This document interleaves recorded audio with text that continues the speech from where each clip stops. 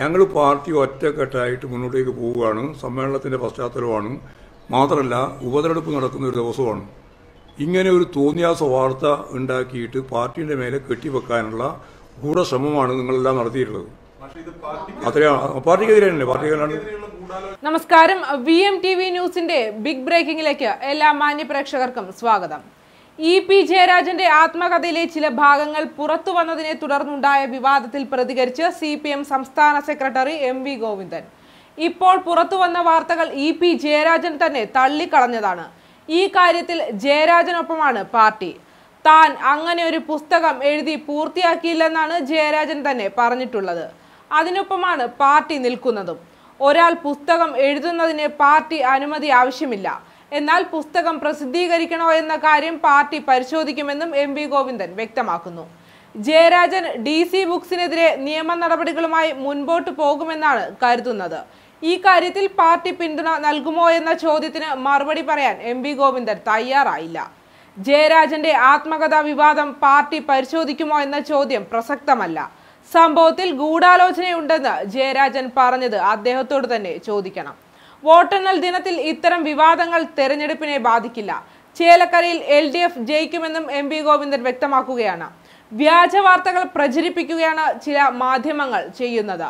ജയരാജന്റെ വിഷയത്തിൽ തനിക്ക് അതൃപ്തിയുണ്ടെന്ന് റിപ്പോർട്ടർ ചാനൽ ഇന്ന് രാവിലെ വാർത്ത കൊടുത്തിരുന്നു. താൻ ആരോടാണ് ഇങ്ങനെ അതൃപ്തി പ്രകടിപ്പിച്ചതെന്ന് എം വി ഗോവിന്ദൻ ചോദിച്ചു. ജയരാജൻ പറയുന്നത് അങ്ങനെ ഒരു പുസ്തകമോ പ്രസിദ്ധീകരിക്കാൻ കൊടുത്തിട്ടില്ലെന്നാണ്. അങ്ങനെ അദ്ദേഹം പറയുമ്പോൾ അതിൽ പിടിച്ചിട്ട് ചോദ്യങ്ങൾ ചോദിക്കേണ്ട തന്നെ ആവശ്യമില്ല. എൽ ഡി എഫ് കൺവീനർ സ്ഥാനം ഒഴിഞ്ഞപ്പോൾ തനിക്ക് എന്തെങ്കിലും അതൃപ്തിയുണ്ടെന്ന് ജയരാജൻ പാർട്ടിയോട് പറഞ്ഞിട്ടില്ല. എല്ലാ തിരഞ്ഞെടുപ്പിലും ജയരാജൻ വിവാദം ഉണ്ടാക്കിയിട്ടില്ലെന്നും കഴിഞ്ഞ തിരഞ്ഞെടുപ്പിൽ മാത്രമാണ് അങ്ങനെ സംഭവിച്ചതെന്നും വ്യക്തമാക്കുന്നു. കേരളത്തിൽ ഒരു വിഭാഗം മാധ്യമങ്ങൾ പാർട്ടിക്കെതിരെ നിരന്തരം വ്യാജ വാർത്തകളാണ് നൽകുന്നത്. പാർട്ടി നയരേഖയെക്കുറിച്ച് തെറ്റായ വാർത്തകൾ കൊടുത്തതിനെതിരെ പ്രകാശ് കാരാട്ട് തന്നെ പറഞ്ഞിട്ടുണ്ട്. ഈ കാര്യത്തിൽ അദ്ദേഹം പറഞ്ഞ കാര്യം തന്നെയാണ് തനിക്കും പറയാനുള്ളത്. കേരളത്തിൽ പാർട്ടിക്കെതിരെ വലതുപക്ഷ മാധ്യമ പ്രചാരണമാണ് നടക്കുന്നത്. ഈ കാര്യം ഞാൻ തന്നെ നിങ്ങളോട് പറഞ്ഞിട്ടുണ്ട്. ഓരോ വാർത്തകൾക്കുമെതിരെ കോടതിയിൽ പോവുകയാണെങ്കിൽ അതിനെ സമയം കാണുള്ളൂ എന്നും എം പി ഗോവിന്ദൻ ചൂണ്ടിക്കാട്ടുന്നു. ഇ പി ജയരാജൻ പറഞ്ഞതും ഞാനും നിങ്ങളെല്ലാം കേട്ട് കാണും. ജയരാജൻ പറഞ്ഞത് ഞാനിങ്ങനൊരു പുസ്തകം എഴുതിയിട്ട് ആരെയും പ്രസിദ്ധീകരിക്കാൻ നടത്തിയിട്ടില്ല. ഞാനിങ്ങനൊരു ഒരു ഈ പറഞ്ഞ രീതിയിലൊരു പുസ്തകം എഴുതിയിട്ടുമില്ല.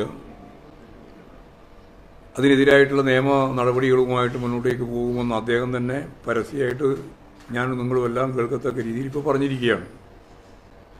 അതാണ് വസ്തുതാപരമായിട്ട് ഞങ്ങൾക്ക് പറയാനുള്ളത്. ഇലക്ഷനും മറ്റ് രാഷ്ട്രീയമായ ഇടതുപക്ഷ അനുകൂലമായ രാഷ്ട്രീയ സാഹചര്യങ്ങളൊക്കെ വരുമ്പോൾ പിന്നെ ഈ മാധ്യമങ്ങളും ചില ആളുകളെല്ലാം ചേർന്ന് ഇതുപോലുള്ള നിരവധി വാർത്തകൾ പലപ്പോഴും ചമക്കാറുണ്ട് എന്നുള്ളത് സത്യമാണ്. പ്രകാശ് കാരാട്ട് പാർട്ടിയുടെ അഖിലേന്ത്യാ കോർഡിനേറ്ററായിട്ട് പ്രവർത്തിക്കുന്ന സഖാവ് പ്രകാശ് കാരാട്ട് തന്നെ ഈ കാര്യം ഇപ്പോൾ ചൂണ്ടിക്കാണിച്ചിട്ടുണ്ട്.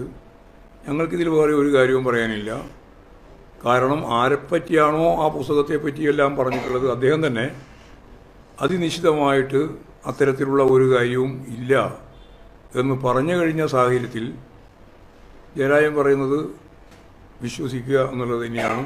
പാർട്ടിക്ക് ചെയ്യാൻ സാധിക്കുന്ന കാര്യം.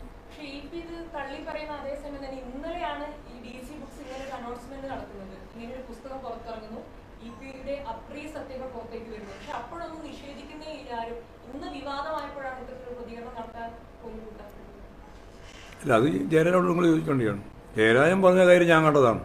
കേൾക്കുകയും ചെയ്തതാണ്. അതാ ഞാൻ പറഞ്ഞത്. വളരെ പ്രകോപനപരമായിട്ടാണ് ജയരാജൻ അതിനെ അതിനോട് പ്രതികരിച്ചത്. തികച്ചും തെറ്റായ രീതിയിലാണ് ഇത് പ്രസിദ്ധീകരിക്കപ്പെട്ടത്. ഞാനൊരു ഒരു കമ്പനിക്കും ഞാൻ കൊടുത്തു കഴിഞ്ഞിട്ടില്ല. ഒരു കരാറും ഉണ്ടാക്കിയിട്ടില്ല. അതുകൊണ്ട് തെറ്റായ രീതിയിലുള്ള പ്രചരണമാണ് നടത്തിക്കൊണ്ടിരിക്കുന്നത് എന്ന് ഇ പി ജയരാജൻ കൃത്യമായിട്ട് പറഞ്ഞിരിക്കുകയാണ്. പിന്നെ വാർത്താ മാധ്യമങ്ങൾ പലതും ഉണ്ടാക്കുകയും പറയുകയും ചെയ്തുകൊണ്ടിരിക്കും. അതിലിന് പറയൽ അത്ഭുതകരമായ സാഹചര്യം ഞങ്ങൾക്കില്ല.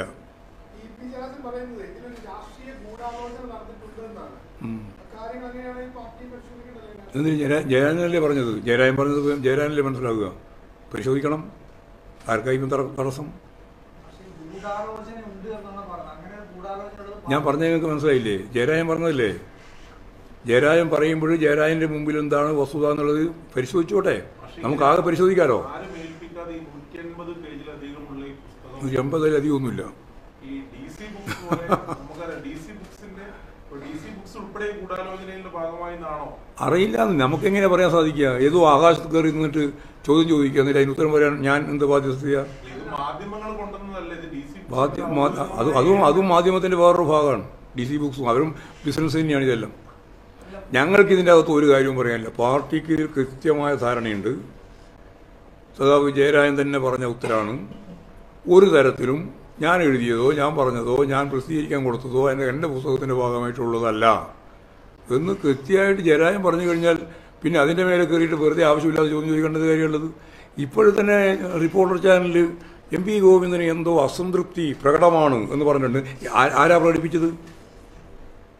റിപ്പോർട്ടർ ചാനൽ ആരാ ഇവിടെ? ആരാ പ്രകടിപ്പിച്ചത്? ഏ? വെറുതെ ഓരോ കാര്യങ്ങൾ എഴുതി അടിച്ചു വിടുകയാണ് ഇത്തരമൊരു വിവാദം ഇന്ന് ഇത് അവർ എന്നോടും പറയാനേ ഇല്ല. വർത്താനം വർത്താനം തന്നെ പറയാൻ പറ്റില്ല. കാരണം വെറുതെ ആവശ്യമില്ലാതെ വാർത്ത ഉണ്ടാക്കാൻ വേണ്ടി ശ്രമിക്കുകയാണ്. ഞങ്ങൾ പാർട്ടി ഒറ്റക്കെട്ടായിട്ട് മുന്നോട്ടേക്ക് പോവുകയാണ്. സമ്മേളനത്തിന്റെ പശ്ചാത്തലമാണ് മാത്രമല്ല ഉപതെരഞ്ഞെടുപ്പ് നടക്കുന്ന ഒരു ദിവസമാണ്. ഇങ്ങനെ ഒരു തോന്നിയാസ വാർത്ത ഉണ്ടാക്കിയിട്ട് പാർട്ടിയുടെ മേലെ കെട്ടിവെക്കാനുള്ള ഗൂഢശ്രമമാണ് നിങ്ങളെല്ലാം നടത്തിയിട്ടുള്ളത്. പക്ഷേ ഇത് പാർട്ടി പാർട്ടിക്കെതിരെ തന്നെ പാർട്ടിക്കെതിരാണ് പാർട്ടിക്കെതിരെയുള്ള ഗൂഢാലോചനയാണെങ്കിൽ പാർട്ടി തെരഞ്ഞെടുപ്പ് ഘട്ടത്തിൽ വന്ന പാർട്ടിക്കെതിരെയുള്ള ഗൂഢാലോചനയാണെന്ന് ഇ പി കുമാഷും പറയുന്നു. അങ്ങനെയാണ് പാർട്ടി അത് ആ രീതിയിൽ പാർട്ടി ഇതെങ്ങനെ വന്നു? ഇതെങ്ങനെ ഉണ്ടായി എന്ന കാര്യം. പാർട്ടിക്ക് ഒരു നിയമ പാർട്ടിക്ക് തന്നെ ഒരു നിയമ നടപടിയെ മുന്നോട്ട് പോയിക്കൂടെ? പക്ഷേ അതായത് തെരഞ്ഞെടുപ്പ് മുന്നിൽ നിൽക്കുന്ന ഒരു ഘട്ടത്തിലാണ് ഇങ്ങനെ ഒരു സംഭവം വരുന്നത്. പാർട്ടിക്ക് തന്നെ അതിനകത്ത് നിയമപരമായി മുന്നോട്ട് പോയിക്കൂടെ? ഇ പി ജയരാജന്റെ മാത്രം ഉത്തരവാദിത്തമായിട്ടാണ് കാണുന്നത് ഈ പാർട്ടിക്ക് തിരിച്ചടിയില്ലേ പക്ഷേ ഈ ഒരു തിരഞ്ഞെടുപ്പ് ദിവസം ഇങ്ങനെ ഒരു വാർത്ത വരുന്നത് അപ്പൊ അത് പരിശോധിക്കില്ലേ എല്ലാറ്റിന്റെയും ഉത്തരം ഞാൻ ആദ്യം പറഞ്ഞു. എല്ലാറ്റിന്റെയും ഉത്തരം ഞാൻ ആദ്യം തന്നെ പറഞ്ഞു.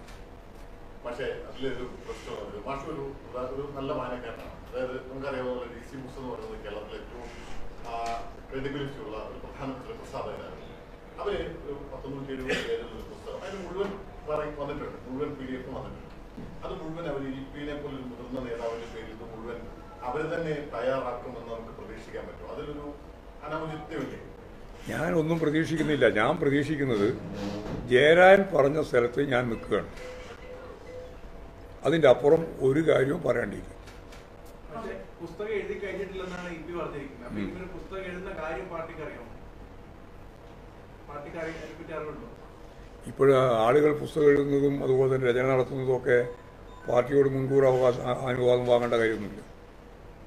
പക്ഷേ ഇന്നിപ്പോ ഈ വാർത്ത ആദ്യം വന്നിട്ടുള്ളത് ടൈംസ് ഓഫ് ഇന്ത്യയിലെ ഒരു പത്രത്തിലാണ്.